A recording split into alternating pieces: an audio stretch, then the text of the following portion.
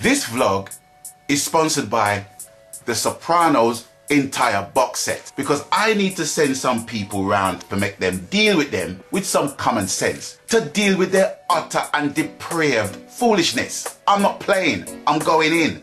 Roll the team. Greetings one and all, this is Lloyd Brown and welcome social media family to my vlog. If you are a regular viewer of my vlog series and if you are a subscriber to my channel, either way, you will know that whenever I say to you, I'm gonna give you the good, the bad, and the ugly. You must know say that I'm gonna give you that. Sometimes I might give you the utter foolish as well. But it's never gonna be completely all da da da da da da. You're not just gonna get all slapstick and joviality. You're gonna get some things that I find good, bad, ugly, downright stupid, downright ridiculous, and many more other adjectives that I can't even muster in my head at the moment. So be prepared. I might get a lot of these, but I don't care because what I'm saying is based upon my opinion, my opinion, my opinion. So first of all, there's a lot of snake oil going around. There's a lot of snake oil in this business. A lot of it.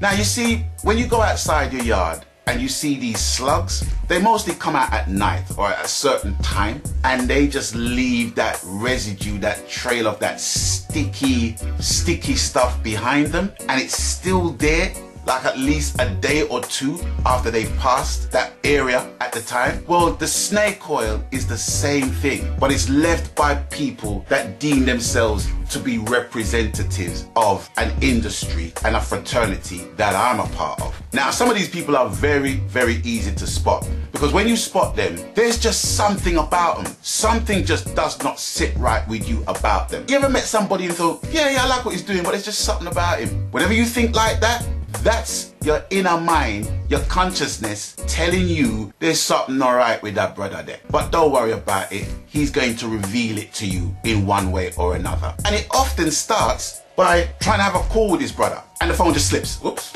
Snake oil. You trying to send an email to this person and you're not getting nothing back and they're moving shady and your fingers are slipping off the keyboard. Snake oil. So I'm here to bleach them out. Yes, ladies and gentlemen, bleach them out. I'm doing winter cleaning. I'm not even bothering about spring cleaning. I ain't got that long to wait. I am winter cleaning your ass. Simple rotted things. I cannot afford snake oil on my being. I don't like the look of it. I don't like the consistency of it. I don't like the smell of it. And I do not like the residue it leaves. So I'm getting rid of your ass. So it's the bleach, chamois leather, bucket, mop, broom, black bags, wheelie bin, you're gone. You only got one chance with me. One chance. And if you mess that up, you're gone. You're gone. You're gone. Okay, ladies and gentlemen, now we're gonna get into the meat and potatoes or the tofu if you're a vegan, because we've got to cater for all parties here. And the subject matter came across from a strange source, but it evoked what it evoked. And it came from a set of pictures that a colleague of mine took at an event recently. And the event was the round table that was held the other day. I was invited to go down there, not by the panel, I was invited by someone in the fraternity. And I said no. And the reason why I said no was simply because if I pick up the mic in one of these things, security is gonna have to get me out of that place because nobody is gonna get a chance to say anything in that place. I'm gonna say everything that needs to be said and I'm gonna drop that mic. And when that mic drop, it's gonna be broken and nobody else can say anything. But what I have said will basically cover the entire reasoning of why we were there in the first place. Security! Security! Now it's come to my attention that there is a campaign of sorts um, for the reggae fraternity to march and hold placards outside the BBC for reggae music to have a fair and proper representation in their programming. My response was, it was a two-pronged response. In my mind, I was thinking, I think you might have to rethink that. But my heart was saying, oh no, sit down. For real. Sit down. Why I'm saying that? Just think of this analogy. Going to the BBC, holding up placards and demanding airplay in their programming is like me going to Buckingham Palace and telling the Queen, yo, Betty, you need to eat some rice and peas and some hard food every Sunday night. Good for you, you know. It might be a bit starchy, it might not be to your taste at the minute, but you will develop a nice taste for it. And when you get some jerk chicken, ackee and saltfish, ital stew on the menu, it'll be good for you. Yeah, yeah, yeah. Now, if the Queen, Prince Philip, who's gonna need some real hard food after the car crash he's had, if they don't have a liking for rice and peas, you can't force them to eat it. If they're not gonna eat it, they're not going to eat it. It's as simple as that. What we need to do as a people, we need to put some Garvey in the room. And when I say that, I simply mean we need to basically serve ourselves, not just oneself ourselves, growing our beans, planting with rice, making sure the soil is good for the rice to grow and we get a good harvest of rice and peas. That's what we need to start doing. How can we be singing songs about injustice and the Babylon system and you want to go to the BBC? I know some people's gonna draw for my other video about the whole Rodigan thing, but hear this. It matters not to me whether Rodigan plays my tune or not, but I'm not going to look a gift horse in the mouth if Rodigan is going to afford me airplay on BBC Radio 1 Extra. But I'm not saying, well, he's playing my tune, so yeah, the BBC's alright. That's not what I'm saying whatsoever. What I'm saying is at the end of the day that we need to basically be self-sufficient in what we're doing. And the problem that I have is when I hear about these meetings, it's the same people saying the same things, making the same mistakes, reaching the same conclusions only to get to the same point at another point in time to rinse and repeat.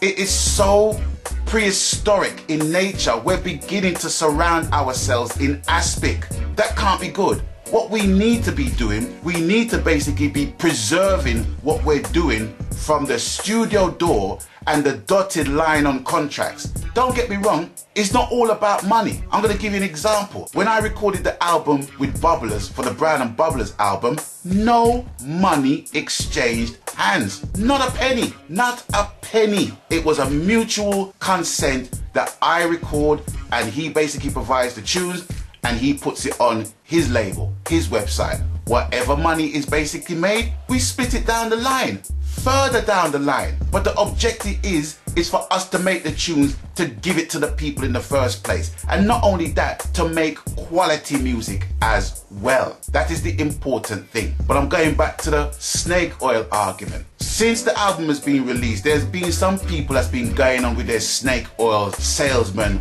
bullshit trying to manipulate situations where they want to boycott the album, but not doing it in a way where it's overtly obvious that that's what they're doing. But you can see by the wording in what they say and in the forum where they basically say it, and it being in a public forum and not dealing with dealing with certain matters on a private level that they want to have certain people on side. Out of the percentage of people that they were talking to, you will have a couple of idiots that will basically follow through to what that person said. So as a result, me bleach them out because you only have one chance with me one. And if you mess that up, you're gone. You're finished. You're done. Winter cleaning. I'm allergic to snake oil. I can't deal with the snake oil as much as the foolishness. That's what we got to basically deal with. March to the BBC for what? What am I gonna march to the BBC? BBC ain't stopping me from doing what I'm doing. They're not stopping me from doing what I'm doing. Persistence beats resistance. If you're persistent and you are consistent in what you're doing, something has got to basically poke through. But if you're doing the same thing, and what I'm noticing as well is the same people that's doing the talking. It's the same people that's doing the talking. So-called pseudo authoritarians on this thing. They're not talking for me. May I tell you that? They're not talking for me. And all this is based upon stoked up hatred, stoked up division, stoked up foolishness to drive an agenda. And I'm not a part of that. I'm not a part of that. That's not what I represent. When I write music, I sing about life, love, loss, faith, lack of, unity, disunity. I chronicle life, my life. It's not just about me or this and me or that and me not do this and me not do that and me burn a fire upon this and me burn a fire upon that. I leave that to other people to do. That's their viewpoint. But for me, that's what I do. But the underlying overarching thing that we are all doing is under the banner of reggae music. You want to march to the BBC to put in reggae music in the programming where their definition of reggae music is all about misogyny and hatred and murder music. That's what they are going to call it. That's not what I'm calling it. That's what the BBC are going to basically call it. So why are you going to waste your time going to the BBC when they already know how they're going to deal with that? We are toeless. We don't have no toes in this team. You know why? Because we keep shooting ourselves in the foot so many times we don't have no toes left and we're falling over in snake oil.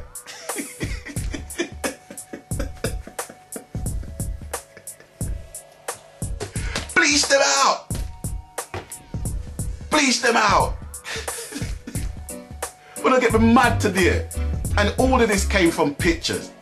This Empress was showing me pictures of this event, and I'm thinking, oh my goodness, oh my gosh, oh my gosh, what?